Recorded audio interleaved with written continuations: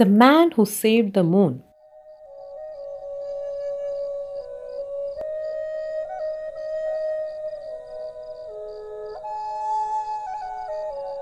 Once upon a time, there lived a poor, kind hearted man. One midnight, he woke up in the middle of the sleep, feeling very thirsty.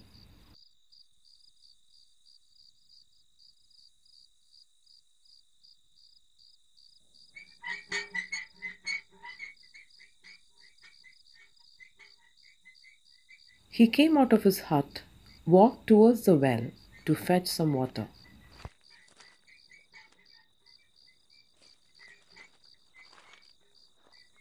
Looking down into a well, saw the reflection of the moon in the water.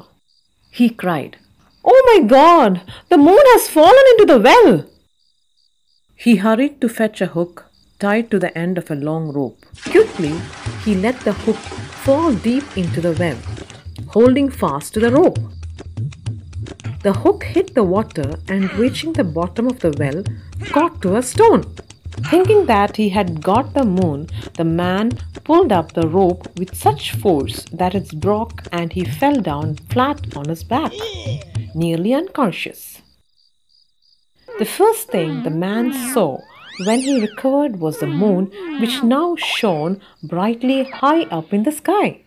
The man groaned in pain, but said happily, I broke my back. But thank God, the moon is saved.